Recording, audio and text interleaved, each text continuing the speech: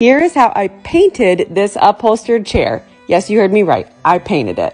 First, I took off the legs, sanded them, and spray painted them with this beautiful gold spray paint. I used an interior paint from Lowe's in the color Palace Green, mixed it with textile medium and water, and put it in my paint sprayer.